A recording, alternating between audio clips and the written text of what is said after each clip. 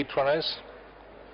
That's it, ready to race, they're off and racing. Good start by all the eight contestants from the seven furlong marker with Prospero on the outside who's jumped this time with the rider leads by about three parts in front of Crown Royal in early pursuit. City of Seals towards the fence, City of Pearls towards the fence. The one on the outside is Sea Castle held in fourth towards the fence. This commanding boy length behind limitation, another three parts of a length behind Italian Cypress and detached is Carolina Moon.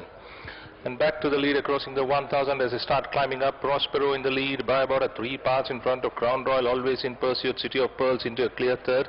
Followed by Commanding Boy on the inside of uh, Sea Castle. Another length behind is towards the fence limitation, half a length behind. Italian Cypress and still detached as Carolina Moon as they continue the journey towards the 600. Prospero by about a three parts in front of Crown Royal, always in pursuit as they start to negotiate the turn.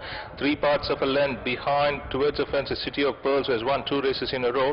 Another length behind on the outside is uh, Sea Castle, now been produced on the center of the course. with Limitation and a reminder, so to is Italian Cypress, produced on the very wide outside. Inside the last 300, Prospero kicks clear by about three lengths in front of uh, Sea Castle, trying his best to bridge the gap, followed by Italian Cypress. They followed then by City of Pearls, Crown Royal, but inside the last 75, it's a one-horse race with Prospero trouncing the opposition and uh, bolting away by about five lengths in front of Sea Castle, Italian Cypress.